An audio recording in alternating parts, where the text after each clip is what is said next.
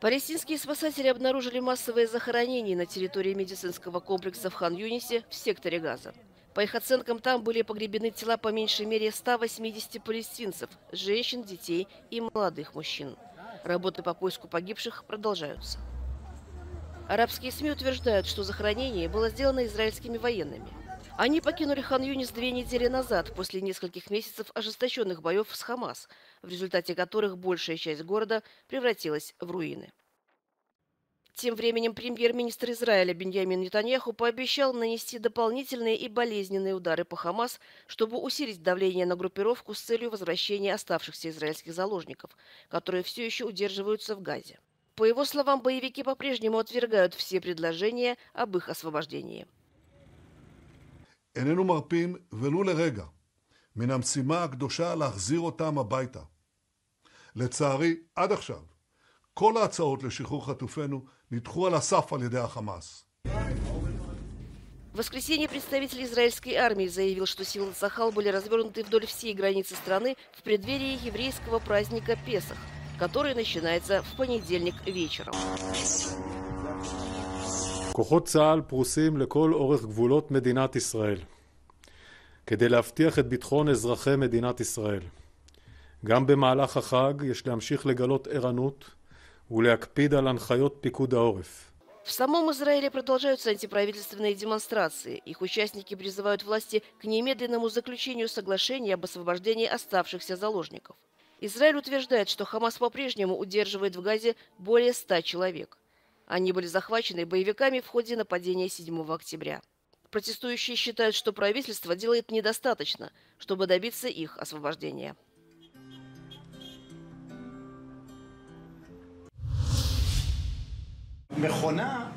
Глава израильской военной разведки генерал-майор Аарон Халива подал в отставку в связи с провалом работы его ведомства во всем, что касается атаки Хамас 7 октября. Министр обороны страны Йоав Галант уже одобрил это решение.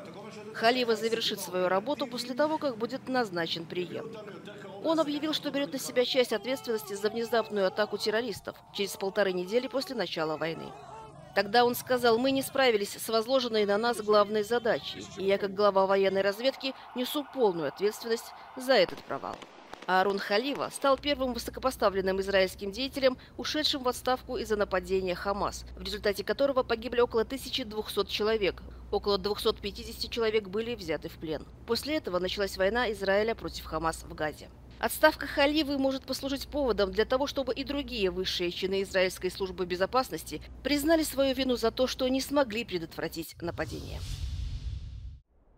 Верховный лидер Ирана Аятолла Али Хаминеи выразил благодарность вооруженным силам страны за нанесение ударов по Израилю 13 апреля. Тогда израильские СМИ заявили, что 99% иранских дронов и ракет были сбиты, и нанесенный ущерб был минимальным. На встрече с военачальниками Хаминеи сказал, что в ходе операции армия Ирана продемонстрировала свои возможности и мощь, показав нацию в выгодном свете. بحث پیش بیاره که چند تا موشک زن چند تاش خورد چند تاش نخورد. اینا مسائل در دست دومه. مسئله اول ظهور قدرت اراده ملت ایران و نیروهای نظامی ایران در یه عرصه مهم بین المللی است. С начала войны в Газе Израиль время от времени наносит удары по иранским прокси-силам в регионе, в частности, по объектам группировки Хизбаллах в Южном Ливане, а также по целям в Сирии. В ночь на 20 апреля взрывы прогремели на военной базе в Ираке. В нанесении удара обвиняют Израиль и США, но они свою причастность отрицают.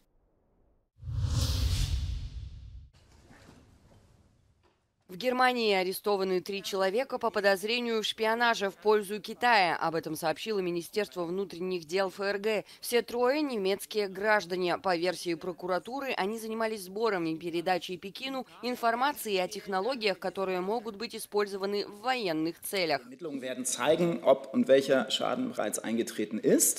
Wäre gesagt, wir warnen und wir sensibilisieren sehr deutlich, was diese Gefahren angeht. Das tut insbesondere das Bundesamt für Verfassungsschutz, ähm, auch in sehr vielen Veranstaltungen, in sehr vielen Gesprächen, auch mit der Wirtschaft, mit der Wissenschaft, ähm, weil genau diese Risiken des Know-how-Abflusses der Ausforschung und Spionage in den Bereichen bestehen. Da besteht ein besonderes Interesse an Innovationen aus Deutschland und in dem Bereich, wo es dann auch noch militärische Innovationen, Rüstungsgüter, Dual Use möglicherweise betrifft, wie in diesem Fall, ist es eben nochmal besonders sensibel.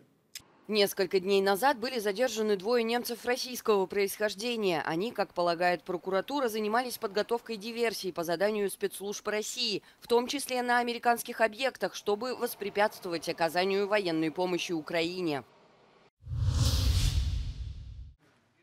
Референдум в Косове по смещению албанских мэров муниципалитетов сербским большинством провалился. В воскресенье сербы фактически бойкотировали плебисцит. Проголосовали лишь 253 из более чем 46,5 тысяч зарегистрированных избирателей. Для признания референдума состоявшимся необходимо 50% плюс один голос. В одном из четырех муниципалитетов Звичане голоса вообще не были поданы. Сербские активисты призывали бойкотировать референдум. Им не понравилось введение камер видеонаблюдения и то, что, по их словам, власти использовали устаревшие списки. В хорватском Ясеновице прошла памятная церемония в 79-ю годовщину побега, фактически положившего конец существованию одного из самых страшных лагерей смерти Второй мировой войны. Он был создан нацистским режимом усташей Хорватии, верных союзников фашистской Германии. За годы войны здесь были убиты, по разным оценкам, от 83 до 700 тысяч человек.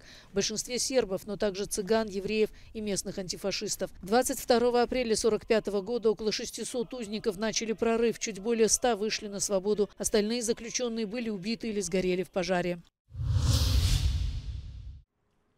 Еще пару недель назад казалось, что в Польшу пришло лето. Столбик термометра поднимался до отметки в 26 градусов по Цельсию и даже выше. Однако в минувшие выходные на большую часть территории страны вернулась зимняя погода. В ряде районов по ночам температура опускалась ниже нуля. Метеослужба предупредила о заморозках, которые наступили в результате проникновения арктического воздуха в Центральную Европу. Впрочем, жители Польши не удивлены капризами погоды. Апрель в этом плане считается не стабильным месяцем. Власти и жители Тюменской и Курганской областей продолжили укреплять дамбы и берега рек после того, как были выпущены новые предупреждения о наводнениях. Эти регионы России и части соседнего Казахстана переживают сильнейшее наводнение за всю историю. Оно было вызвано таянием снега и проливными дождями. Губернатор Курганской области накануне сообщил, что уровень воды в реке Тобол идет на спад, но, по его словам, это не повод расслабляться. В Ишиме Тюменской области пик паводка пришелся на воскресенье. По данным местных СМИ, из Тюмени и Кургана были эвакуированы по меньшей мере 20 тысяч человек.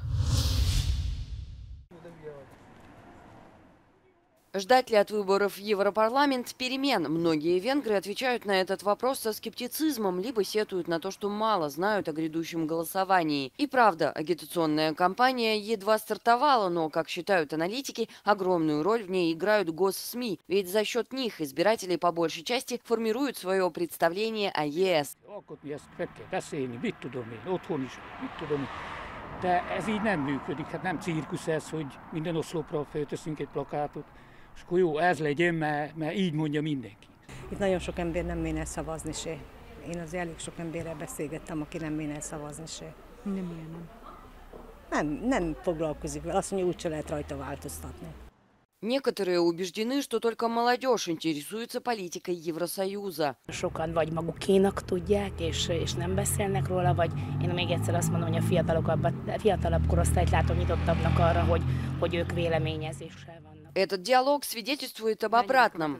Uniós politikát. Nagyon semennyire amúgy. Őszinte legyek, semennyire szinte. És egyáltalán nem, nem is érdekel? Hát, nem nagyon, nem nagyon. Hány éves vagy? 19. Но naшлись и те, кто считает очень важным прийти на участок для голосования 9 июня.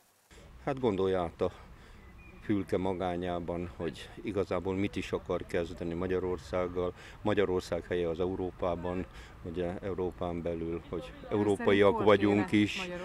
Hát Európában Jelen egyébként. pillanatban ott, ott vagyunk még, vagy hogy érzik? Hát kilóg a lábunk, hogy így mondjam, kilóg a lábunk.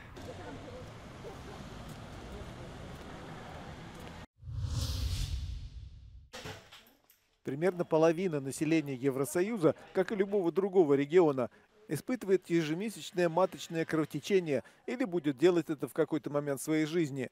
Но не все из них могут позволить себе средства гигиены, необходимые в критические дни. Каждая пятнадцатая бельгийка не может купить тампоны или прокладки по своему выбору. Это называется менструальная бедность.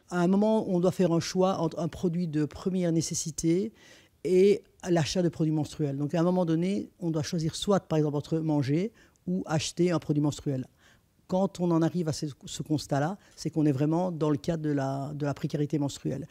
Nous, on ajoute aussi deux variantes qui viennent vraiment plus encore aggraver cette situation, qui sont le manque d'informations menstruelles, mais aussi le manque de lieux sécurisés et bien adaptés pour pouvoir se changer en toute sécurité.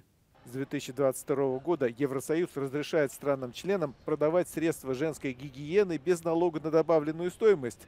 На данный момент Ирландия единственная, кто это делает. Большинство из этих государств снизили НДС до 50%, но другие поддерживают его на высоком уровне. В Венгрии 27%, в Швеции и Дании 25%.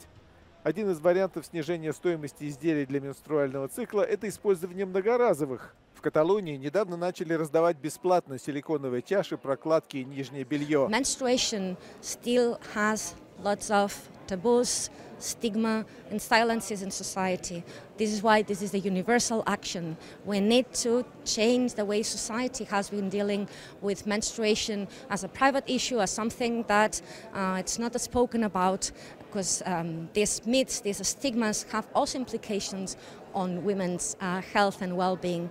По данным Барселоны, 23% каталонских женщин повторно используют одноразовые средства гигиены, а 44% не могут себе позволить такие товары по первому выбору.